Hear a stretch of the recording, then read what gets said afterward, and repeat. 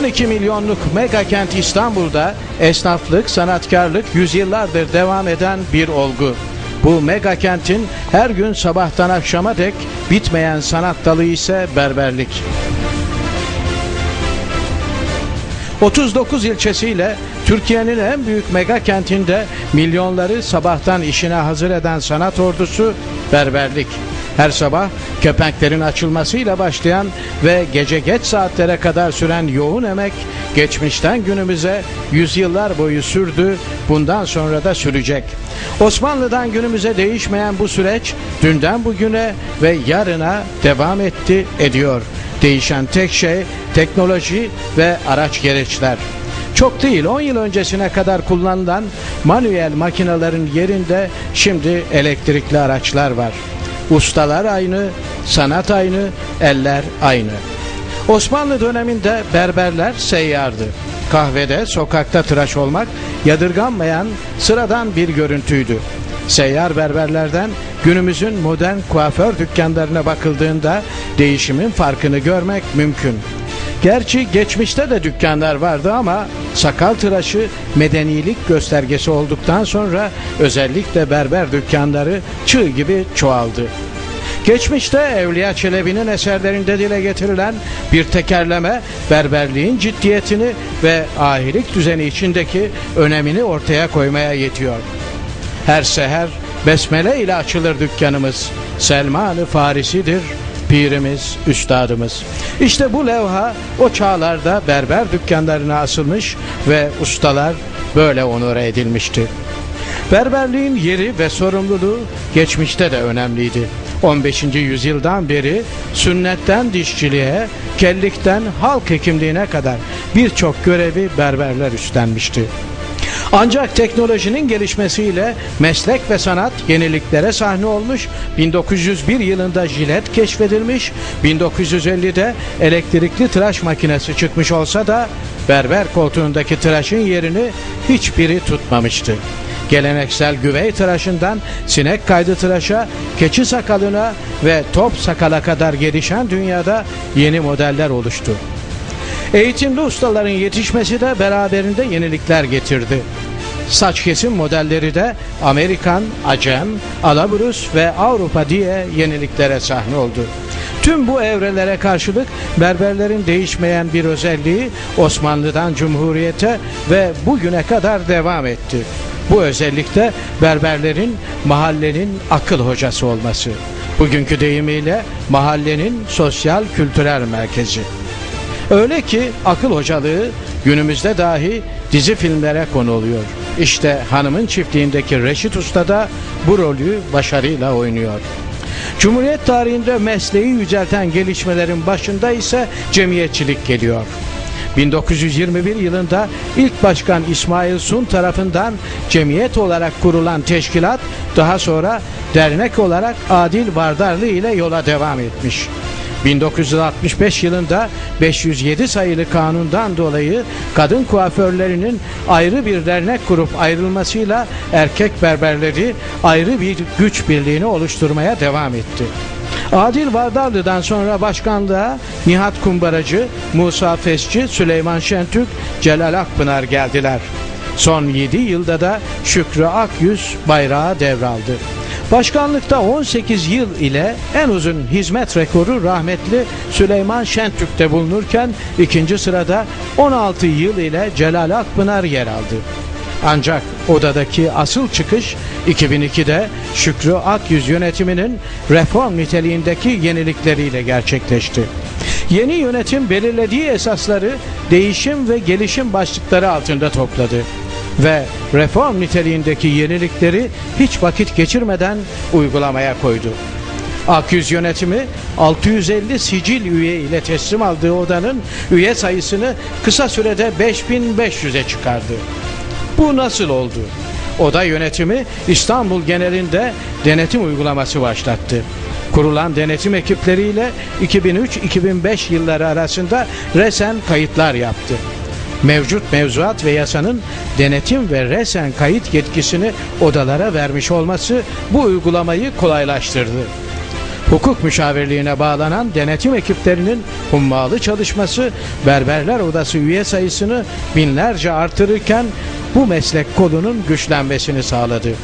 Güçlü olan oda üyelerinin sorunlarının çözümünde de etkili hale geldi. Yani odada ekonomik ve sosyal güçlenme gerçekleşti. Güçlü oda felsefesi hizmeti üyenin ayağına götürmekle şekillendi. Odanın faaliyetleri ve üye işlemleri için odanın merkez ofisi 3 şubeye çıkarıldı. Odanın Aksaray merkezinde üye işlemleri yoğun bir şekilde devam ederken bir de Bahçeli Evler'de şube açıldı. En önemlisi de Anadolu yakasına bir hizmet noktası açılmasıydı. Üstelik gayrimenkulü satın alınarak odaya ait bir ofis oluşturuldu. Odada 3 olan personel sayısı bugün 21'e ulaşmış durumda. Burası odamızın Anadolu yakası şubesi. Üsküdar'da merkezi olan bir şubemiz. Gayrimenkulünü yeni satın aldık. Ee, içerisinde de son derece modernize ederek e, üyelerimizin hizmetine sunduk.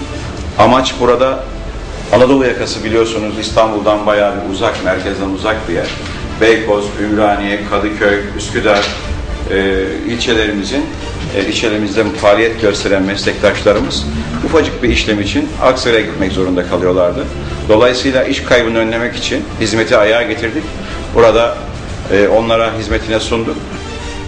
Yeni yönetimin çığır açtığı bir önemli konu da mesleki gelişim eğitimleri oldu.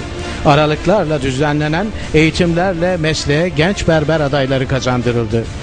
Bugün İstanbul'da 23 mesleki eğitim merkezi faaliyetteyken bunların %70'i berber ve kuaför adaylarından meydana gelirken kalan %30'unu ise diğer meslek kollarına yetiştirilen adaylar oluşturuyor. Berberler Odası olarak sosyal faaliyetler ve mesleki şovlarda da büyük organizasyonlara imza atılıyor. 8 Kasım 2009'da düzenlenen Hairfest 2009 İstanbul'da yankılanan bir şova dönüştü. Terakki Kültür Merkezi'nde gerçekleşen yılın erkek kuaförleri yarışması ve erkek saç tasarım festivali başarıyla tamamlandı. Mesleki yarışmalar düzenlenirken ustaların sanat ve hünerleri genç berberlere aktarılmaya çalışıldı. Genç berberler bu tür şovlara getirilerek onların yeni modelleri izlemesi ve kendi iş yerlerinde uygulamaları hedeflendi. Burada gerek gençlerde gerekse profesyonel kategoride kendi hünerlerini sizlerin huzurunda ortaya koyma cesaretini gösteren bu sevgili gençler, profesyonel arkadaşları da ayrı ayrı teşekkür ediyorum. Ben bugün hepsini birinci olarak ilan ediyorum.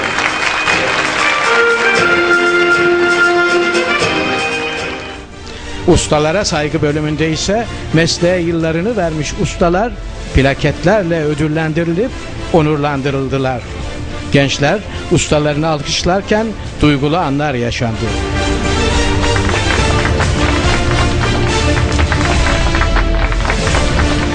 Böylece modayla entegre olma ve mesleğin saygınlığını perçinleme konusunda önemli bir beyin fırtınası estirilmiş oldu.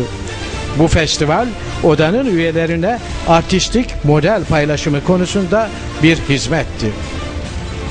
Oda yönetimi reform niteliğindeki faaliyetlerini ülke sınırları içinde yaygınlaştırırken ülke sınırlarını aşan konularda ihmal edilmedi. Merkezi İtalya'da bulunan Dünya Kuaförler Konfederasyonu CMC'de görev üstlenildi. İstanbul Berberler Esnaf Odası Başkanı Şükrü Akyüz düzenlediği başarılı organizasyonlarla dikkat çekerken CMC'nin Türkiye ve Orta Doğu'dan sorumlu başkan vekilliğine getirildi. Odanın reform niteliğindeki ilk adımlarından biri yayınlar oldu. Buradaki amaç ürün ve model konusunda üyelere çeşit sunmak, eğitici bilgiler aktarmaktı. Berber esnafımızın muhasebe yükünün artırılmaması ve basit usulde vergi mükellefiyetinin devam ettirilmesi için Başkan Akyüz bizzat girişimlerde bulunarak bürokrasideki mücadelesiyle uygulamanın devamını sağladı. Oda yönetiminin son birkaç yıldır sürdürdüğü en önemli mücadelesi ise kayıtsızlar ve korsan berberlerin haksız rekabeti oluyor.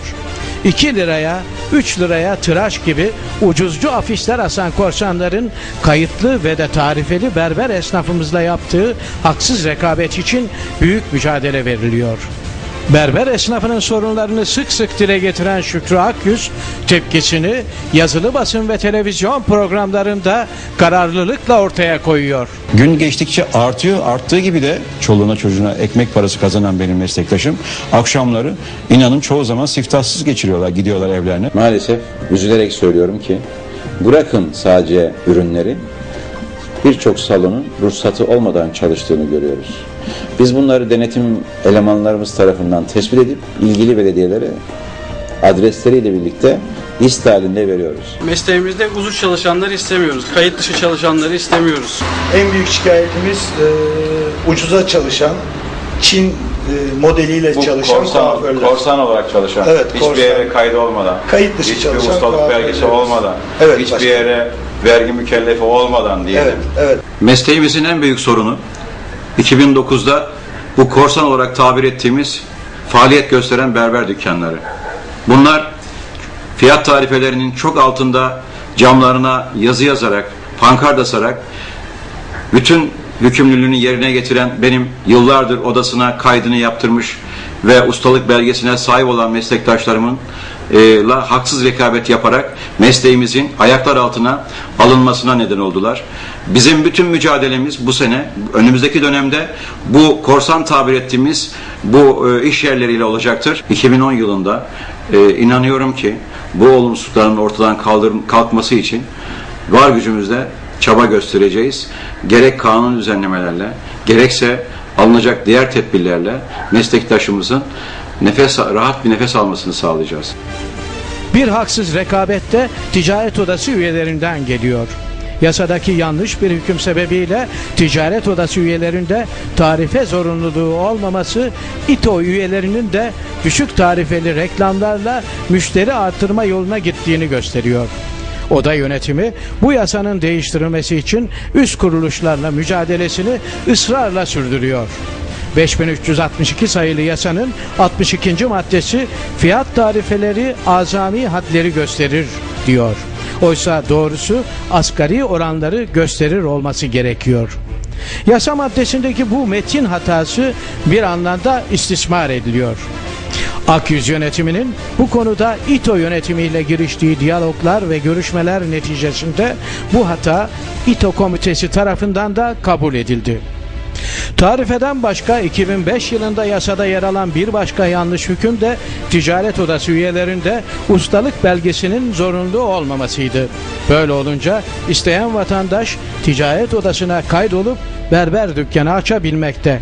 Ancak ruhsat başvurusu yaptığında belediyeler ustalık belgesi isteyince bunu da sahte düzenlemelerle yerine getirmekteler. Odamızın ele geçirdiği bu ustalık belgeleri isim ve fotoğrafın değiştirildiği sahte belgeler. Bu belgeler noterlerce bile tasdik edilip aslıyla aynıdır belgesi bile alınabilmiş. Şimdi esnaf odalarında olduğu gibi ticaret odalarında da ustalık belgesi aranması zorunluluğu için mücadele yoğunlaştı. Sahte belgelerle ya da bir başka ilçede veya başka şehirde faaliyet gösteren ustalık belgeli bir berberi mesul müdür gösterip dükkanına ruhsat alan meslek dışından sahte berberlerle mücadele sürüyor. Küçük esnafın karşısında hipermarketler, berberlerin karşısında ise ekspres berberler rakip oldu. Korsan berberlerin haksız rekabeti ve Başkan Şükrü Akyüz'ün konuyla ilgili açıklamaları basında böyle yer aldı. Bunun üzerine İTO yöneticileri bu konudaki haksızlığın giderilmesi konusunda görüş bildirdi. Berber esnafının bir başka sıkıntısı ise pazar tatili isteği. Çünkü haftanın 6 günü her gün 12 saat ayakta hizmet veren berber ve çalışanı bir günlük tatili haklı olarak istiyor. Mevcut oda yönetimi belediyelerle görüşmeyi sürdürüyor. Duyarlı belediyeler bu haklı isteği dikkate alıyor. Ancak duyarlı olmayan belediyeler gayri resmi çalışan korsanların isteğiyle pazar çalışmasına izin veriyor. Yönetim bu konudaki mücadelesini de sürdürürken sorun basına da yansıtıldı. Haftada 6 gün 15 saat dükkanında kalan berberimiz, meslektaşımız haftada bir günde çoluğuyla çocuğuyla olsun istiyorum. Oda yönetiminin berber esnafının sorunlarının yanı sıra sosyal faaliyetleri de sürüyor. Üyelerinin mutlu günleri bunların başında geliyor. Genç berberlerin evlilik günleri ya da sünnet ve benzeri mutlu günlere ziyaret yönetim kurulu üyeleri tarafından yerine getiriliyor. Oda yönetiminin bir başka sosyal duyarlılık faaliyeti ise aralıklarla yapılan Darül Ceze ziyareti oluyor. 112 yıllık bu yardım kurumunun sakinlerini tıraş etmek onlar için hem ihtiyaçlarının giderilmesi hem de moral anlamına geliyor. Bu sosyal yardım da basında böyle yer aldı. Yönetimin katıldığı bir diğer sosyal organizasyon ise ailelik haftası programlarına katılmak. Odanın bağlı bulunduğu İstesop, İstanbul Esnaf ve Sanatkarlar Odaları Birliği bünyesinde Taksim, Sultanahmet ve Kağıthane programlarına her yıl iştirak edildi. Güngören'deki patlamada olaydan etkilenen berberler yönetim tarafından ziyaret edilerek yardım eli uzatıldı. Böylece iyi günde, kötü günde üyeler yalnız bırakılmamış oldu. Evet, el emeği göz nuru bitmeyen sanat dalının teşkilatlanması ve faaliyetler böyle sıralanıyor. Yüzyıllardır bitmeyen bu sanat dalı bundan böyle de devam edecek. Ancak bu teşkilat iş bilen yönetimlerin elinde önündeki sorunları aşarak üyelerine yenilikleri adapte ederek sürdüğü sürece üyeler mutlu bireyler olarak hayatlarını sürdürecek. Onlara nice mutlu yıllar.